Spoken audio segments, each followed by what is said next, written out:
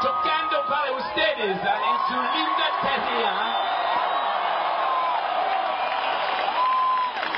Pienso que finalmente los tiempos están cambiando. Es verdad, ¿no?